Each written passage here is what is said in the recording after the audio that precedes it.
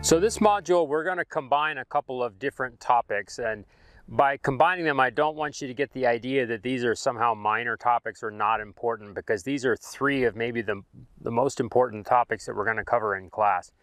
The first of these is data quality. And, you know, it takes a lot of effort to put together a monitoring program and to get out there and collect the data and then to analyze it, hoping that you can say something uh, to support management decisions.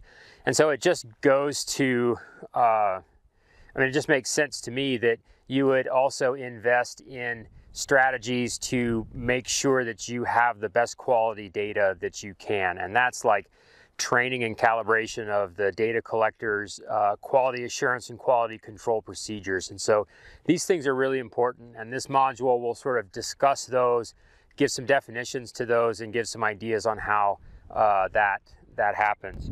Um, the second topic that we're going to cover are covariates. And a covariate is just simply something that you're going to measure while you're out here that will help you understand or interpret the data that you're collecting.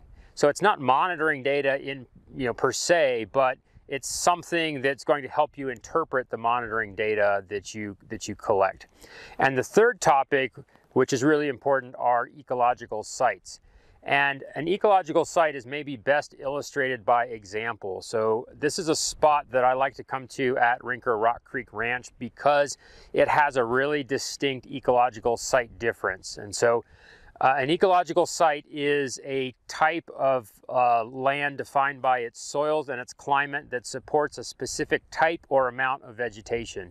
And so on my left, that'll be your right, we have this really nice mountain sage community here, um, some, some bunch grasses in there as well. And then on my right, your left, then is a low sage site.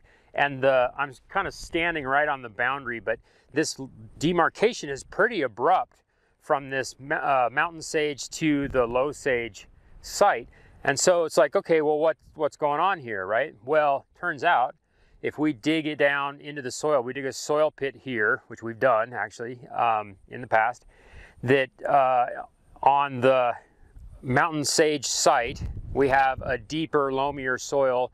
And then on this low sage site, once you get down to about a foot or so, about you know 50 centimeters maybe, then all of a sudden there's this really thick, hard, dense clay layer that is sort of changing the plant water availability and making it so this low sage uh, does better here than the mountain sage does. And so the implication of that is our expectation of what these two different pieces of land can produce is going to be different.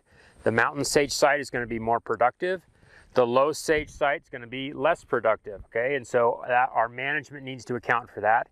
And how we interpret our monitoring data needs to account for that as well. We wouldn't expect this low sage site to say have as high a grass cover or productivity as the mountain sage site does. So for monitoring, the implication here is that you really need to know the ecological sites that you're on because they provide the key for interpreting the monitoring data that you have and making sure that you're making apples to apples comparisons when you combine data or compare across regions or across areas. So data quality, covariates, ecological sites, the three things we're covering in this module.